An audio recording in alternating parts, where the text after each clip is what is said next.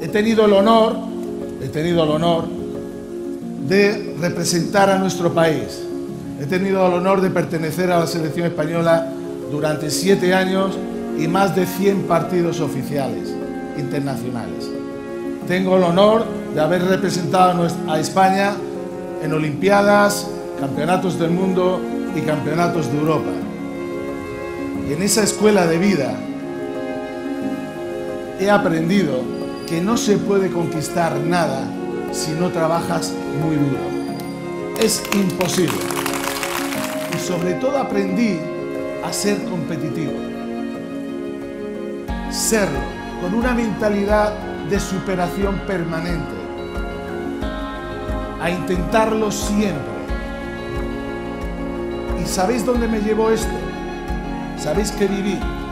Pues viví que con una selección unida, donde cabe toda la diversidad, donde cabe todo el talento y el esfuerzo, con todo eso fuimos capaces de ganarle a Estados Unidos en su casa.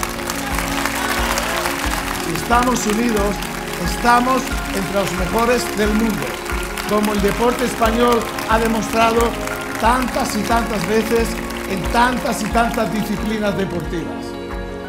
Pues bien, en esa España, en esa España quiero estar yo.